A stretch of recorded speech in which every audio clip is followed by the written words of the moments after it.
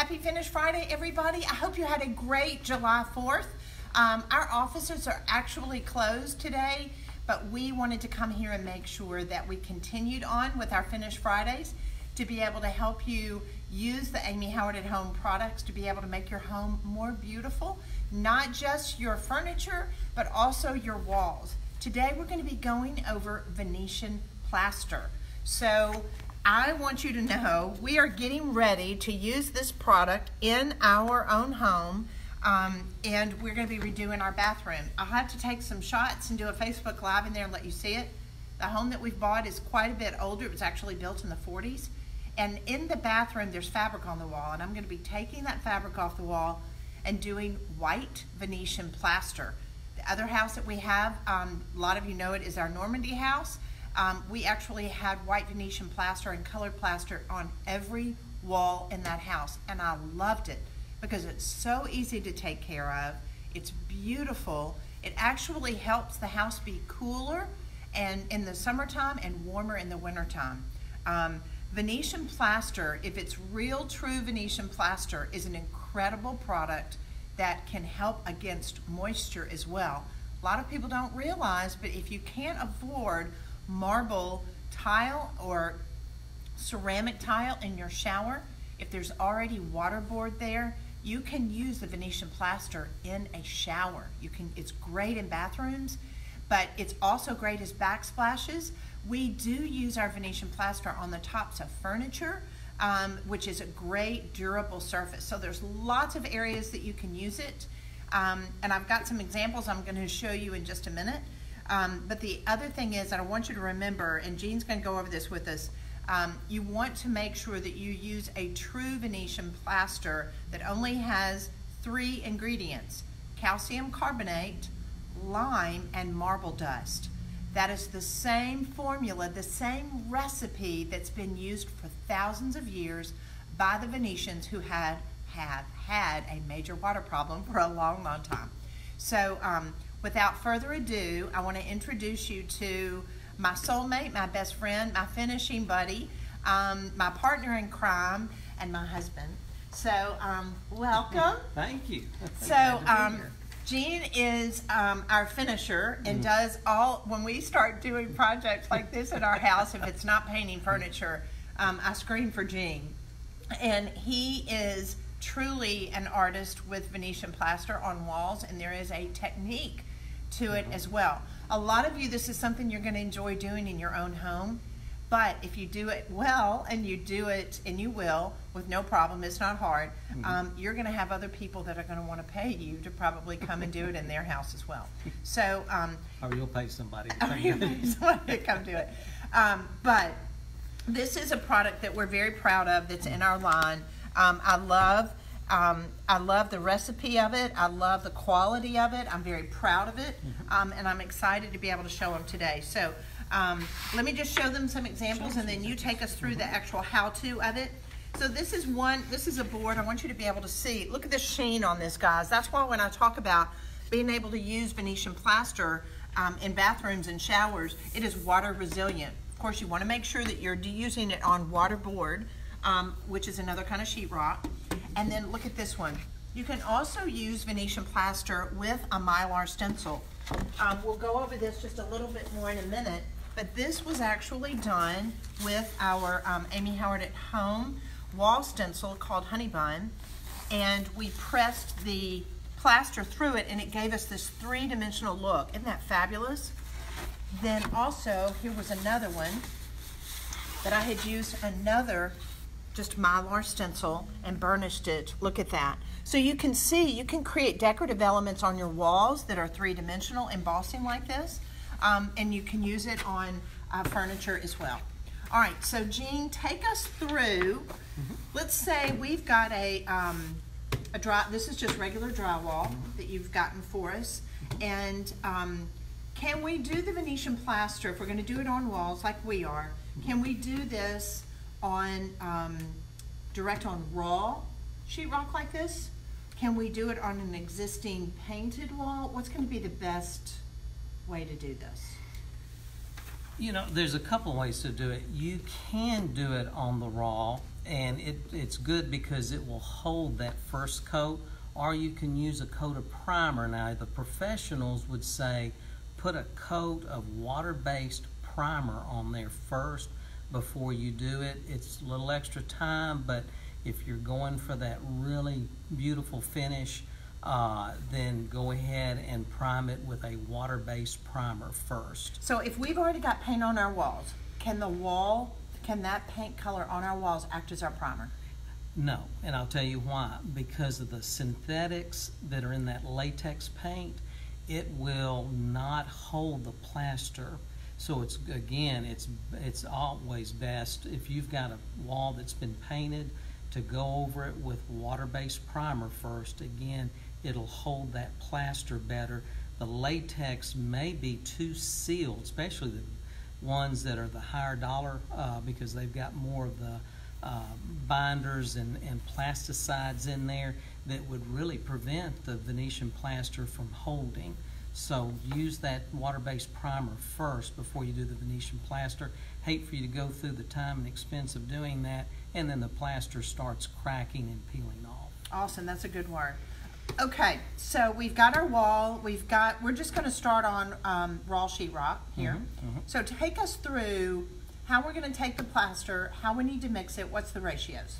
What we're going to do, and this is something, go to the hardware store before you do your house, do your wall. We always say, before you do your project, do a sample, or your project will become a sample.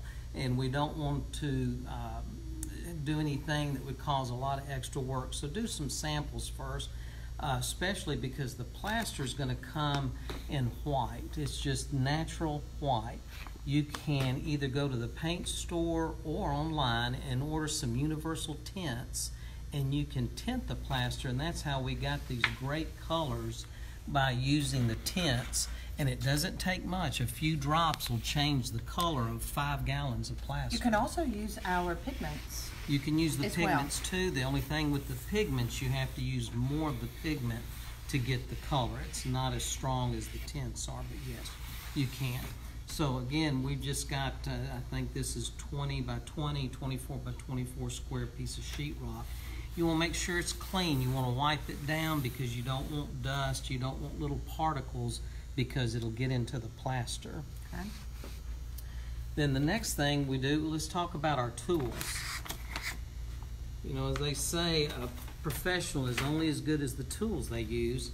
What we've got, we've got just a putty knife, and that's what we're going to use to um, get our plaster out of the bucket and put it on our trowel. The trowel, again, you don't want to just, if you're going to do this on your uh, walls in your house, you don't want to use a trowel that's made for brick and mortar. You want one for Venetian plaster, and the best one that we found is by a company called Pavan. That's P A V as in Victor, A N as in November, Pavan. And they sell these online, and they are made for Venetian plaster. A lot of the reason for that too is the fact that your corners should be rounded. Mm-hmm. If you don't want to have these, they don't. They don't have to. But Gene Oh. likes he likes that, but he wants you to be able to have something that's got these rounded edges and something that's not really sharp like that on the edge. Right, and the reason for the rounded is because when we're applying this, if you have sharp corners, it'll tend to leave tr- uh, trough marks into the Venetian plaster, and you'll be constantly chasing trying to get that out. So that's why you do want rounded rounded corners on your trowel. Real quick, um, Bren- Brenda would like to know: Can you use dry milk paint to tint the plaster? I have before, and I do a lot of times when I'm working on furniture, because you can do this technique that Jean's going to be showing you today on the tops of furniture. It looks beautiful. You can actually use it on furniture if it's got straight lines. Um, and when I do do that, I, I do tint it with our milk paint. So, but Jean's talking about really large surface areas. If you're going to be doing walls, it's nice to use just a universal squeeze tint. Um, in our house, when we did it, we did a lot of our walls in white Venetian plaster. It's the most beautiful. It truly is beautiful. So the next thing we'll have, we've got a mixing bucket. Depending on how much you're going to mix, that'll determine the size of your bucket. Uh, keep in mind, mixing is very important. It does take a while to mix this because it's got to be smooth as cake batter. Uh, you don't want any of the little particles, anything, is when you're mixing that. And so when we do this, we've got our drill. You can use quarter cordless, and we have a uh, mixing stick on the end so that this will give us a really good way of mixing it.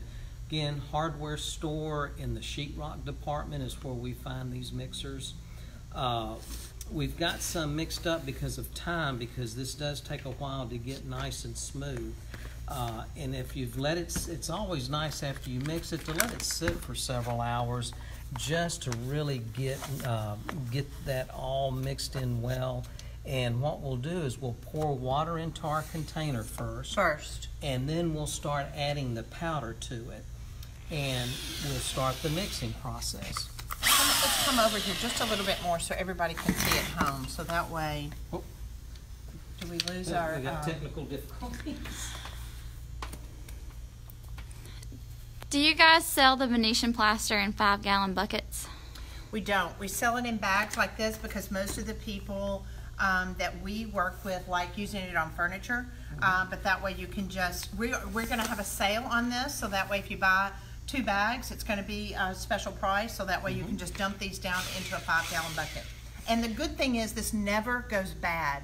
So even after you've made it like this, you can, um, we usually will just take a little bit of saran wrap. Little, you want to put a little water on top, then you take the saran wrap and cover the inside top, and then you want to put your sealed, airtight top on this. Most of the time, these containers you can get the tops, that, lids that go on that, so it's airtight and it'll it'll last well. forever. It will last forever. It will never go bad. So it's a great thing to Never know.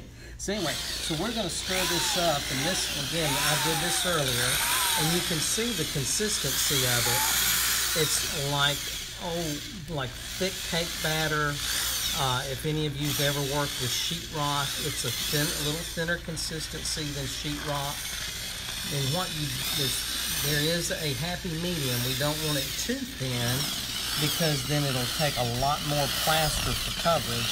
We don't want it too thick because then it'll be very difficult to apply and also the dry time will be much longer. But you can see how smooth that is. We've gotten all the, the little particles out. Do I need to make this night before? Or am I okay? You know, you can make this the night before and let it sit overnight. and it may work better. And it won't necessarily work better, but you don't have to mix it up the day of. You know, a lot of people we've we've talked about this as far as the different surfaces that this can go on. You can even use this on countertops. You can use this on brick inside. As far as um, I love, I'll just do a shout out to um, Encore Tamra. She does a great job with her finishing and her clients, and had a great uh, before and after picture on our before and after group. If you're not part of that group, please join the Amy Howard at Home before and after group. You'll be able to see what a lot of people are doing as projects, and it will inspire you too.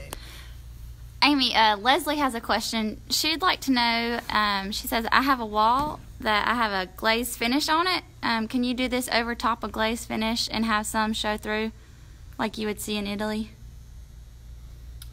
She could. Well, again, the glaze finish has got a glazing liquid in there that will have sealed and it'll be very slick. Uh, I have a concern that the Venetian plaster over long term will adhere to that. Uh, again, you hate to go through all that work and expense of doing it only for that to, to come off. Okay, I have a suggestion. Okay. So, this, if we, I, I just see this like in an Italian restaurant or in Italy or whatever. And what is it, Leslie, that's asking this question?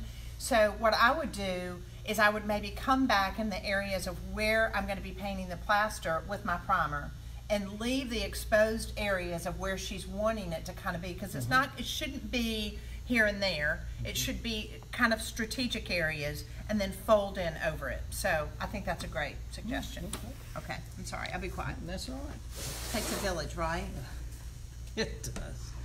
So again, next thing we want to do is have some have some cotton rags, some lint-free cotton rags, Again, we want to make sure there's not any dust or any particles on here before we start.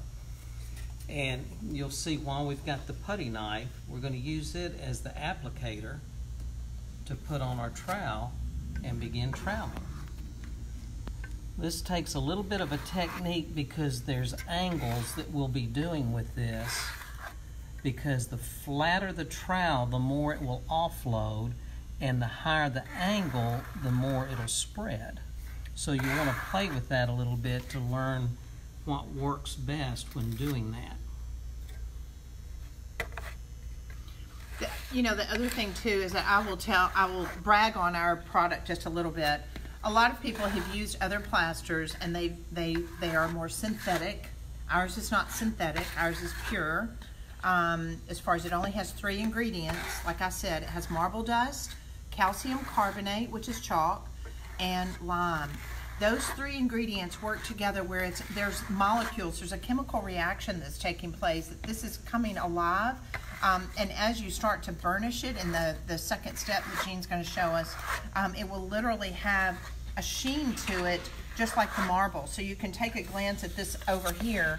You see that sheen, that's that marble dust, and it's really, really hardy. Um, so um, One of the things too, you don't want to overwork this, and we're going to show you on the second coat.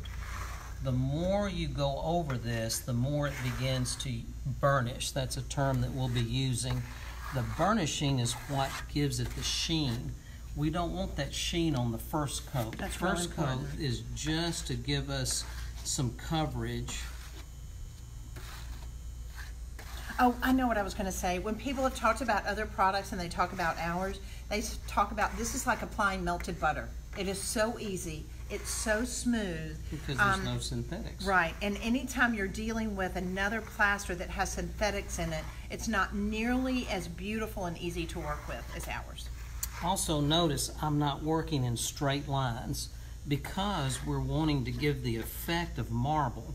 And as you'll see on the second coat, that marbleized finish is going to have swirls and that's why when I do this, I'm using little arched application.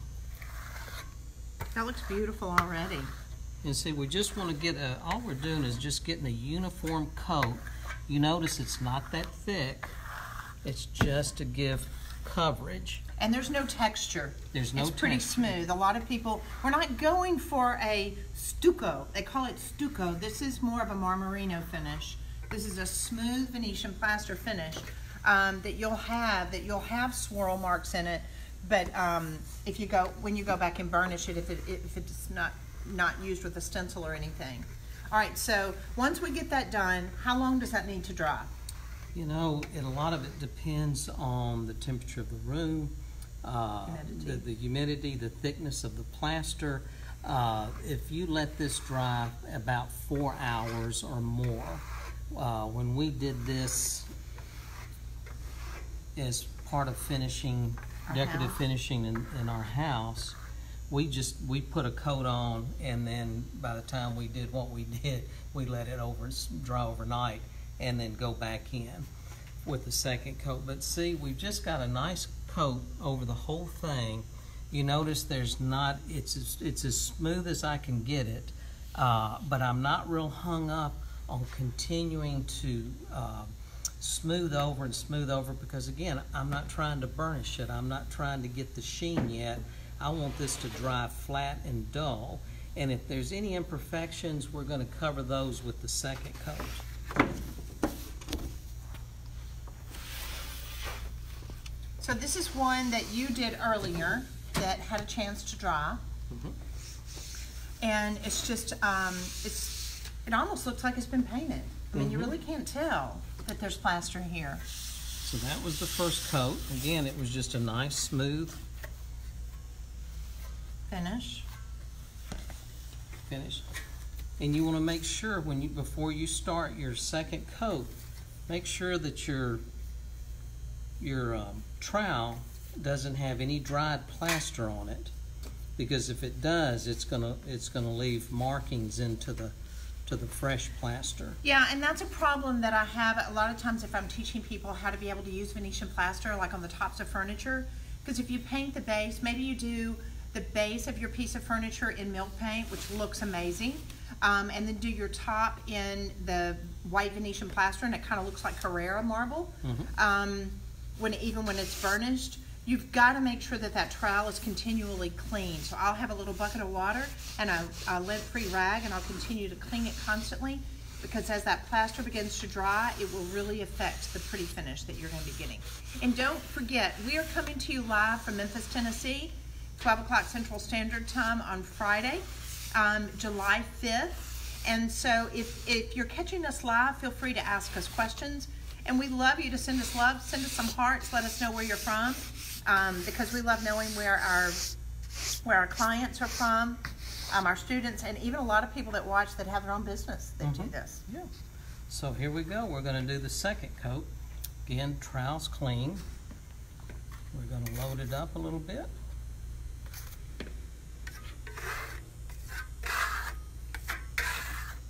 Does that first coat make this um, seal a little faster, or does it it does it dry faster, or does it affect it in any way? All of, that first coat is for coverage because we're not going to get what we need with one coat. It's going to have to be two. Professionals will even go that third coat because they're really making this uh, a much smoother, glossier finish by adding that third coat to it. You know, and if you're watching this, most of you are DIYers, and it's all about do-it-yourselfers. It's all about getting a really expensive look in our home that we we don't want to pay for that look. Because I will tell you, if you had um, a professional come in and do Venetian plaster on your walls in a room, let's say a room is 14 by 16, you're probably going to be paying between three three thousand and forty five hundred dollars for it to be done minimum. Certain areas like miami um, new york different areas higher populated areas you're looking at paying but probably between um, 4500 to 6500 dollars. So this is something you can very easily do yourself. You need a partner that's why i want to make sure jean helps me with projects like this.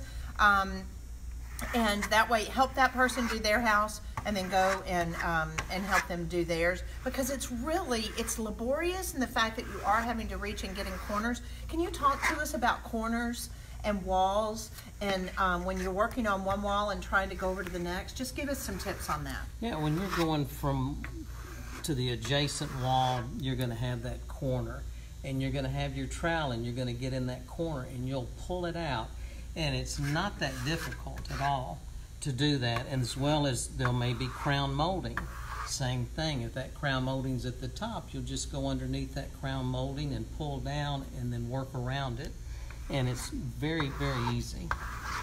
So again, you notice I'm not putting a lot of plaster on, I'm just getting coverage. I'm not really building this up. but you are working in circles kind of this Mhm. moon You still- effect very very important arched, arched.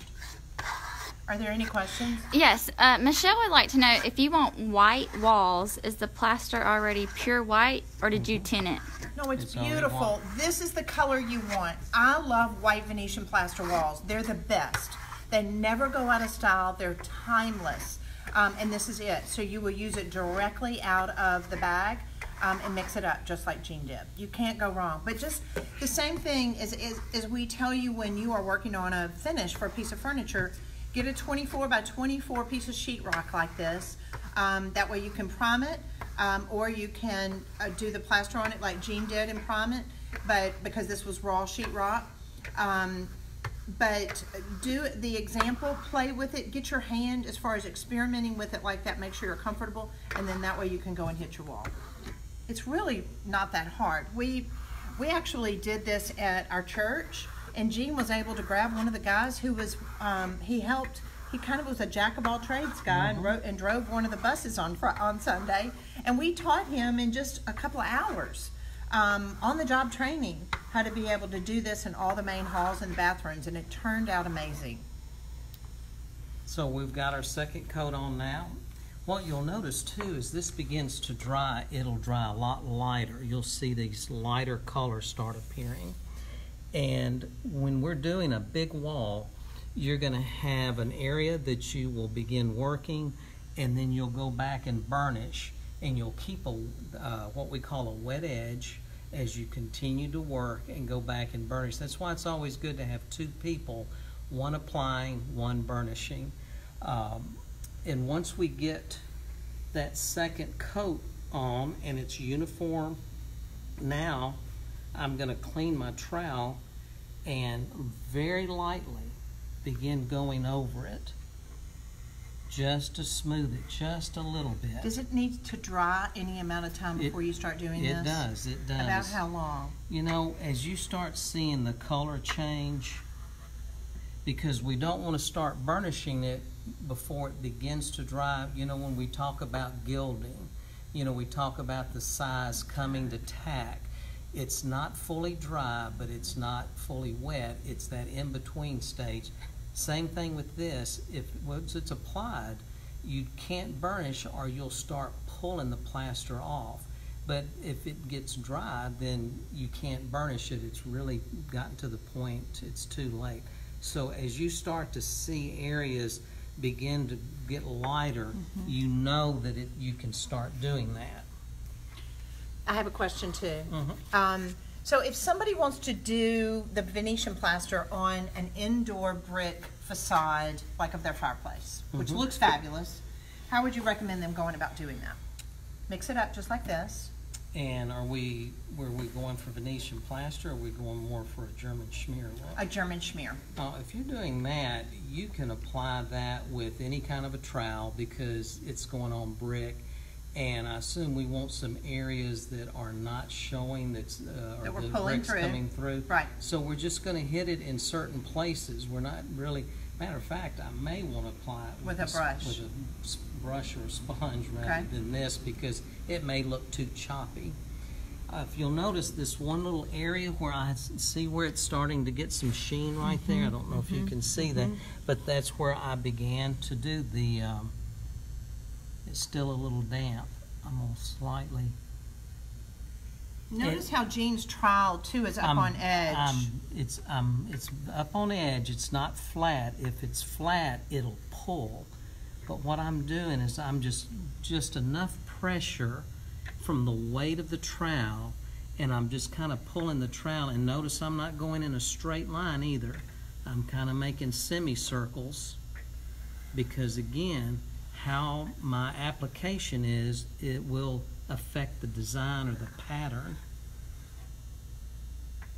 See how it's starting to dry a little bit there? You can see that lighter color. And as I do this, the way that I know that I've really got a nice, the correct, uh, the correct amount of dry on this, it'll sound like a skating rink. It'll sound like ice skates in a skating rink. Can you start to see the sheen now Oh, I on can. this? I wonder, I hope with the light that they can see that at home. Guys, it's beautiful. I'm just going to tell you, artwork and paintings and everything shows up so beautifully on um, on a Venetian plaster wall. Now, Mhm. I didn't ask you this before we went live, so can I ask a favor? Um, would you mind showing them really quickly how they can create a three-dimensional embossed look on their wall with a stencil? hmm If we're gonna do a third, it'll require a third coat. If we burnish it again, what happens is it makes it more difficult for the next coat of plaster to adhere. You want it, um, you want it look rougher in the texture, rougher meaning it hasn't been burnished.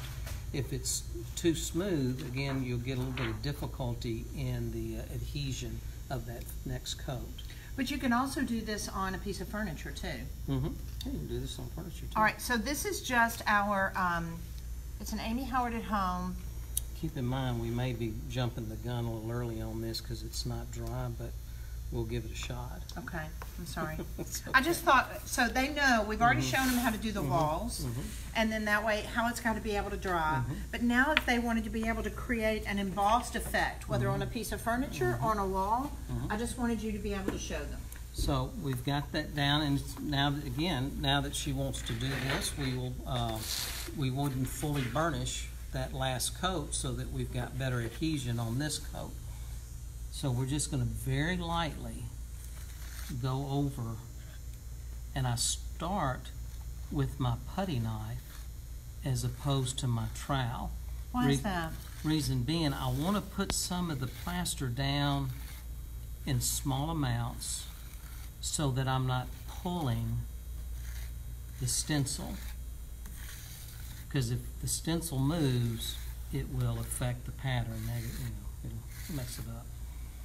So I'm going to do a little bit, like the very top, Then are you gonna work your way down? then I'll work my way down, Okay. and then I'll use the trowel because I've got some plaster holding the stencil in place. Are there any questions? Are we good? All right, guys, this is your chance to be able to ask questions. Come close enough so that way they can kind of see what he's what he's doing. So right now, I've um, I've asked Jean. I know we were talking about doing the plaster on walls, but what I wanted to do, a lot of people like using the plaster on furniture, the tops of furniture. Um, you can do this on the top of a console. Guys, you can use this plaster on brick. You can use it on furniture. You can use it on um, you can use it in a bathroom. I mean, as far as being able, it, it's great with moisture. Any any area there's a lot of humidity, it's beautiful.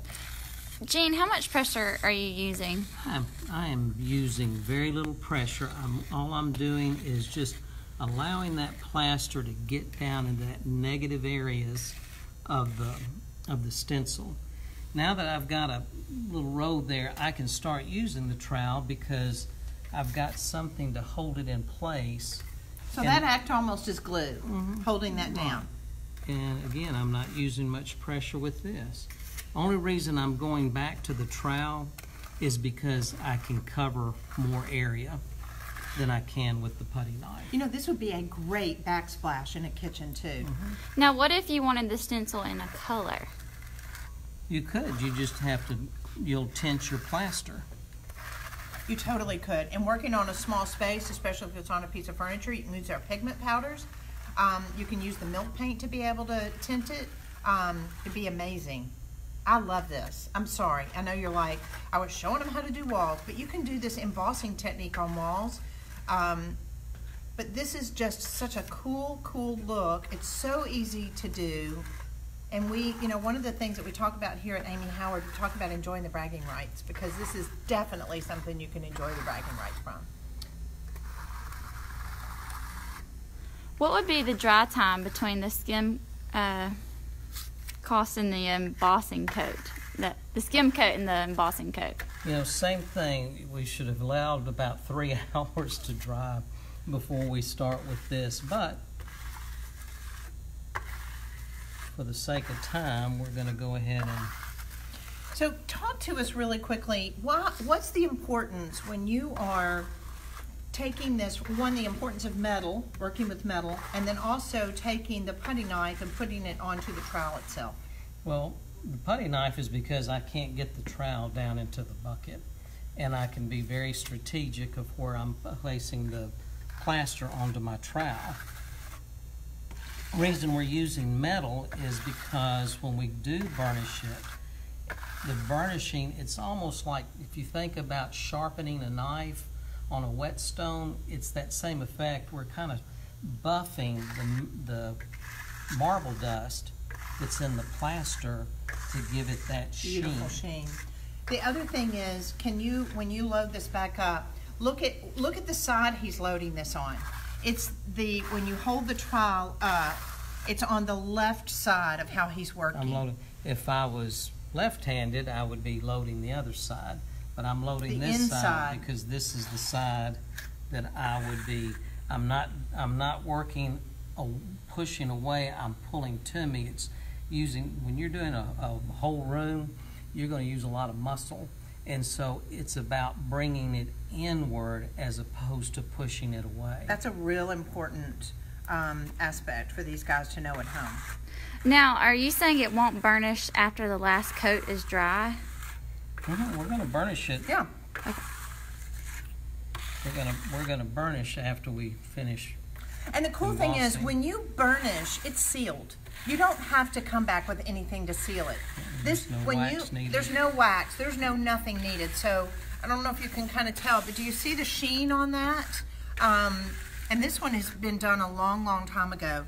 That burnishing and that sheen that we got on the top of that from embossing it, um, is just a natural process of that marble dust that's in this Venetian plaster.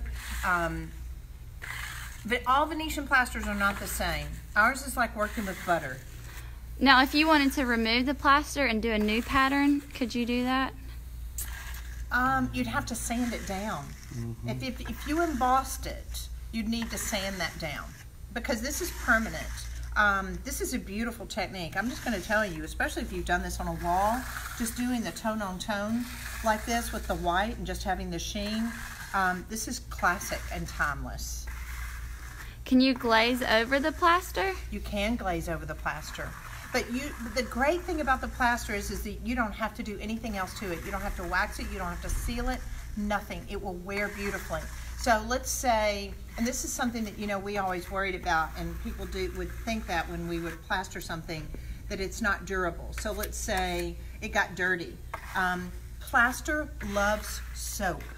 So liquid soap was it Dove that we would use? Mhm, Liquid soap and water. just liquid soap and water will clean that off and then you can burnish it right over it. It's so easy to take care of. You can touch it up because there's no shelf life on this. Even once you've mixed it up, um, it's good indefinitely. Then that way you can just come back in and touch up wherever you need to. All right. Let me get the excess off. You do such a great job, Jane. Oh, Thank you. You're a great tennis player and you're a great plasterer. Tennis is easier. we played this morning before we came in here to do this Finish Friday.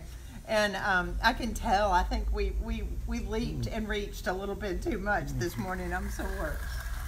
All right, so now what I'm making sure of, remember that when we remove the stencil, we want to make sure that the embossing is smooth because we can't come back and smooth it out once we once we remove the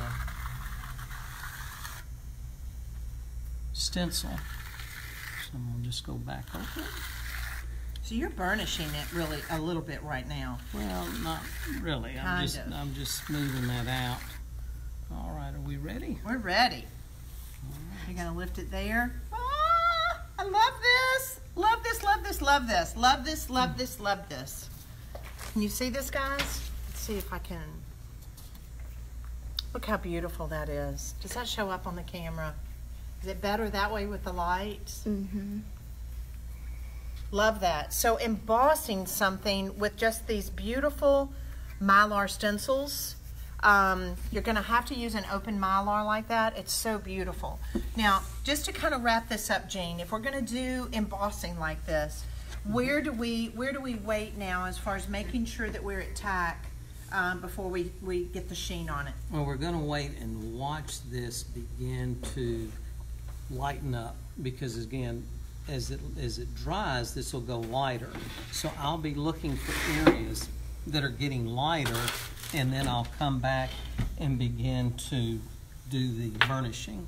So right now we cannot burnish, or we're just going to smear the embossing. So we would come, wait maybe 15, 20 minutes and we'd start seeing that. But the- it has got to firm up before we can start embossing or we'll just, it'll, uh, we'll end up making just a third, third smooth coat. But the great thing about it is you can use this in a shower in a bathroom. Mm-hmm. You can use this as a backdrop, um, even an area in your kitchen, like your Mm-hmm. backsplash. You, this can be a, a countertop.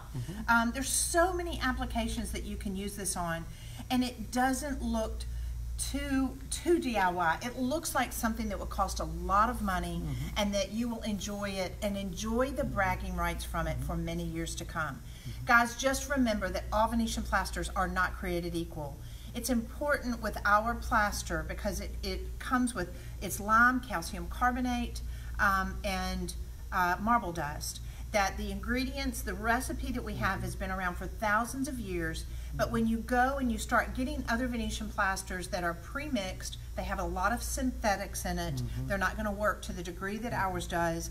They're a lot harder in the application process, and this is like working with melted butter. It's beautiful and it's easy to mix up.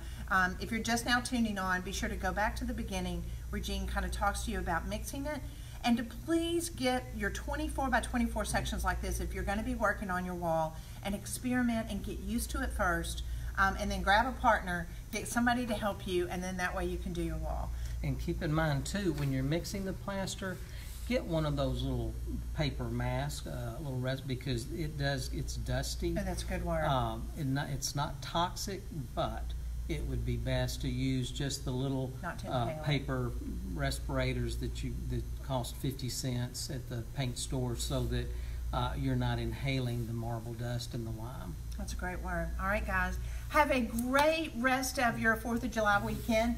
Thank you. You're welcome. For helping me today. Um, if this is something that you enjoyed and you know that there's somebody that loves decorating their home and they would love to do this too, please share our videos um, on Facebook and um, and like us and tell your friends. This is something that we do because we're passionate about. We love teaching others. We love helping others to craft a more beautiful life. Have a great weekend, everybody.